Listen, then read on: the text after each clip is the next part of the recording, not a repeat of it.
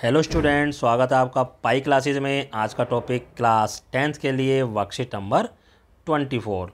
क्या टॉपिक है? Similar triangle similar triangle and introduction. Introduction बताया जाएगा और डिफरेंस बताया जाएगा कंगुरेंसी और सिमिलरिटी में हमारे पास क्या डिफरेंस है। कंगुरेंसी तो हम पहले भी पढ़ चुके हैं। देखो, कहता है टू फिगर्स फिगर में पोलीगन भी हो सकती है। पोलीगन जिसमें तीन साइड होती हैं, वो ट्राइंगल बन जाता है, जिसमें फोर साइड होती हैं, वो क्वाड्रिलेटरल बन जाता है, जिसमें फाइव साइड होती है पेंटागन तो पोलीगन नाम दे दिया। टू फिगर्स मान लो पोलीगन भी हो सकती हैं, कुछ भी और भी हो सकती हैं are similar if they have same shape अगर उनकी शेप एक जैसी हो देखने में, यानी देखने में दोनों एक जैसे लगें। बट दे मे और may not have the same size वो देखने में एक जैसे हों, लेकिन उनका साइज़ चाहे सेम हो या ना हो, ठीक है? तो उसको हम सिमिलर फिगर बोलते हैं। जैसे ये दोनों फ़ोटो देखो। ये दोनों फ़ोटो देखने में बिल्कुल एक जैसी हैं। एक फ़ोटो ये वाली छोटी है, ये स्मॉल है और ये बिग फ़ोटो है। ठीक है? लेकिन इन फ़ोटो को, क्योंकि हम दोनों को एक देखने में एक जैसी हमारी लग रही हैं तो इनको हम सिमिलर फ़ोटोज़ बोलेंगे। ऐसे ही आगे कहता है टू फिगर और पोलीगन आर कंगुरेंट ये तो सिमिलरिटी की हो गई। अब कंगुरेंट क्या कह रहा? Congruent if they have same shape या अगर उनकी शेप भी सेम है ठीक है? As well as same size size भी सेम यहाँ पर साइज़ सेम नहीं था। देखो मे और may not have same size ठीक है? अगर सेम साइज़ है तो इसको हम कंगुरेंट बोलेंगे। और अगर सेम साइज़ नहीं है तो वो सिमिलर हो जाता है। ठीक है? जो कंगुरेंट है, वो सिमिलर तो होते ही होते हैं। बट सारे सिमिलर कंगुरेंट हो, ऐसा पॉसिबल नहीं है। तो कंगुरेंट और सिमिलरिटी के बीच में आपको डिफरेंस पता चल गया होगा। अब देखो यहाँ पर हमें बता रखा है सिमिलर ट्राइंगल्स के बारे में क्या है? देखो ये बोल रखा है इन्होंने। कहता similar triangles are exact same shape same उनकी शेप होती है but are of different size shape उनकी सेम होगी, यानी लुक उनका सेम होगा बट उनका साइज़ अलग अलग होगा। जैसे ये रेड वाला ट्राइंगल है और ये ग्रीन वाला ट्राइंगल दोनों देखो देखने में बिल्कुल एक जैसे लग रहे हैं, बस उनका साइज़ अलग अलग है।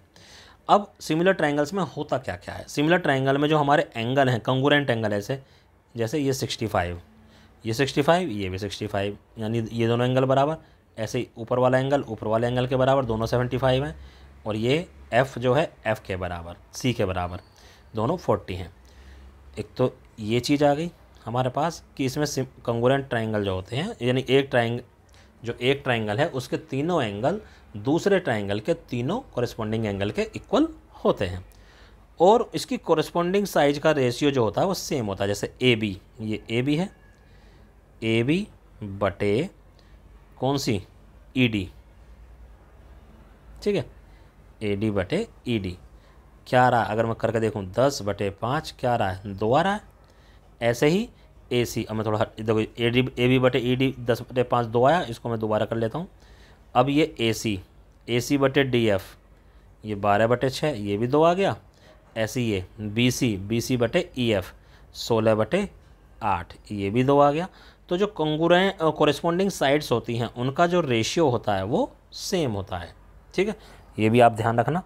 अगर ऐसा है, तब हम कहेंगे ए बी सी जो ट्राइंगल है, अगर ये दोनों कंडीशन पूरी होती हैं या दोनों में से कोई एक पूरी हो जाती है, कि A B C is similar to D E F ये जो बीच में निशान बनाया हुआ है, ये सिमिलरिटी का निशान है। क्या निशान है ये? ऐसे। ठीक है? इसको हम ऐसे बना सकते हैं। ये सिमिलरिटी का निशान कहलाता है। और कंगुरेंसी का निशान क्या होता था? ये ऐसे बनाया और इसके नीचे दो इक्वल भी लगा दिए। क्यों? क्योंकि उसमें साइज़ भी हमारा सेम होता था। ये बता रखा कंगुरेंट ट्राइंगल के बारे में नीचे। कहता जो कंगुरेंट ट्राइंगल होते हैं triangle is a close figure having three sides two triangles are congruent if they have corresponding sides and corresponding angle equal इसमें इक्वल होने चाहिए। ठीक है? अब कोरेस्पॉन्डिंग साइड देखो, ये साइड इस वाली साइड के इक्वल ऊपर वाली साइड नीचे वाली साइड के इक्वल ज़रूर नहीं है कि साइड ऊपर नीचे हो सकती हैं। इसमें ये वाली साइड इस साइड के। यानी इसकी तीनों साइड इसकी किसी भी तीनों साइड के इक्वल होनी चाहिए और ऐसे ही एंगल भी इक्वल होने चाहिए। तब हम उनको बोलेंगे कंगुरेंट ट्राइंगल अगर इन ट्राइंगल को आप कैंची से कट कर लो और एक दूसरे के ऊपर रख लो तो ये हु बहू एक दूसरे को ढक लेंगे। ठीक है? इसमें एंगल वाली ये जो है प्रॉपर्टी ये तो सेम है, जैसे सिमिलरिटी में थी। उसमें साइड्स का रेशियो सेम था, इसमें साइड्स ही सेम होती हैं, बिल्कुल डिट्टो इक्वल होती हैं। तो हम कहते हैं कंगुरेंट तो ये मैंने कंगुरेंट का निशान आपको बता दिया था। तो सिमिलरिटी और कंगुरेंटी में आपको कंगुरेंसी में आपको मतलब अब समझ में आ गया होगा। ठीक है? अब आप चलते हैं पहले क्वेश्चन की ओर। देखो, पहला क्वेश्चन क्या है? कहता which of the following are the example of congruent figure देखो, एक तो ये हमारा, सिर्फ़ साइज़ ही अलग अलग है, बाकी शेप बिल्कुल सेम हमारे को दिखाई दे रही है। तो ये हमारा congruent figure oh sorry similar figure हमारे पास ये वाली है। ये भी सिमिलर है, ये देखो, ये भी सिमिलर है। और ये जो एक पहाड़ी है एक ये बड़ा, ये भी हमारे सिमिलर हैं। सिमिलर क्या नहीं है? ये। ये अलग अलग हैं बिल्कुल। देखो, जो साइड इसमें लेफ़्ट में है, वो साइड इसमें राइट में है। ये तो रिफ्लेक्शन है। इसको हम सिमिलर नहीं कह सकते, ठीक है? क्योंकि शेप हमारी चेंज हो गई है।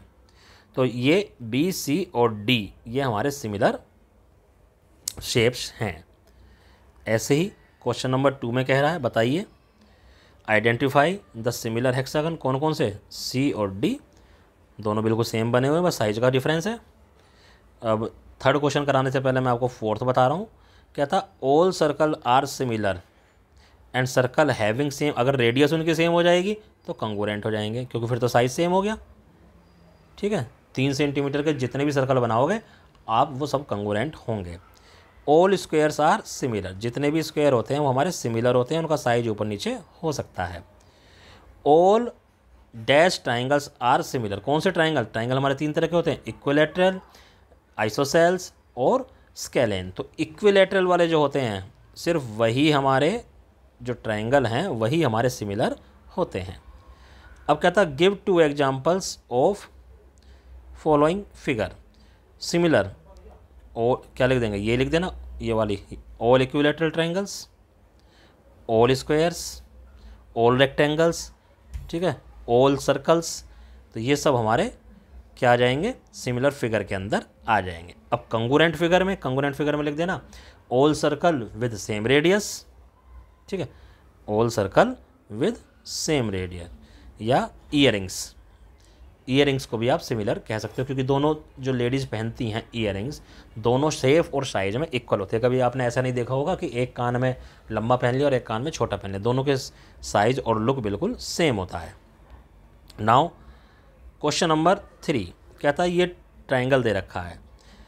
कहता और कहता है इफ़ ए बी सी और ये दोनों ट्राइंगल अगर सिमिलर हैं तो फाइंड द लेंथ अगर ये सिमिलर हैं तो इनको, एक तो इनके एंगल बराबर होंगे अब एंगल तो इसमें दे नहीं रखे तो एंगल से हमें मतलब नहीं है। एंगल बराबर होंगे और इनके जो साइड्स हैं का रेशियो है, वो हमारा इक्वल होगा। यानी ए बी जो, ओ हाँ साइड का रेशियो ए बी और पी क्यू यानी हम क्या लिखेंगे? ए बी बटे पी क्यू ये किसके बराबर होगा?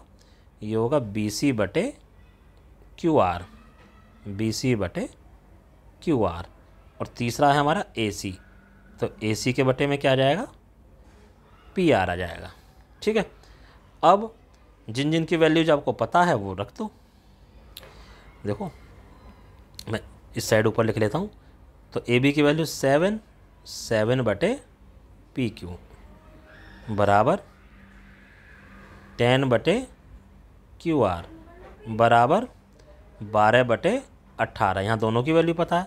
अब एक बार इन दोनों को बराबर ले लेंगे और सोल्व करेंगे। तो कैसे करेंगे? क्रॉस मल्टीप्लाई कर दो। क्यू आर की मल्टीप्लाई बारह से तो बारह क्यू आर बराबर अट्ठारह गुणा दस। तो क्यू आर की वैल्यू आ जाएगी अट्ठारह गुणा दस बटे बारह। अब काटो छः दूनी बारह छः तिया अठारह, दो से काटा पाँच तो क्यू आर की वैल्यू कितनी आ गई? पंद्रह सेंटीमीटर ठीक है? तो क्यू आर की वैल्यू पंद्रह आ गई। ऐसे ही हम एक बार इन दोनों को इक्वल ले लेंगे। ठीक है? अब हम क्या लिखेंगे? सात बटे पी क्यू बराबर बारह बटे अट्ठारह तो फिर से क्रॉस मल्टीप्लाई करो, बारह पी क्यू और अट्ठारह गुना सात। तो पी क्यू क्या हो गया भाई हमारे पास? अट्ठारह गुना सात बटे बारह। छः दूनी बारह छः थी अट्ठारह ऊपर आ गया इक्कीस बटे दो दो से काटोगे तो ये हो जाएगी दस दशमलव पाँच। तो इस तरह से हम सारी वैल्यूज़ निकाल सकते हैं। मेन क्या था हमारे पास? ये रिलेशन इस रिलेशन में जिस, जिसकी वैल्यू पता है तो एक बार जो पूरा रेशियो हमें हमें ये वाला पूरा रेशियो पता था। इस पूरे रेशियो को एक बार इसके इक्वल लिया, इस पूरे रेशियो को एक बार इसको लिया क्योंकि तीनों आपस में इक्वल है तो बाकी वैल्यूज़ हमारी आसानी से सॉल्व हो गई। अब ये आपको अपनी वर्कशीट में करनी है, और इस क्वेश्चन को, इन क्वेश्चंस को साफ़ साफ़ करके, फ़ोटो खींच के अपने अपने टीचर को व्हाट्सएप पर सेंड करना है। धन्यवाद।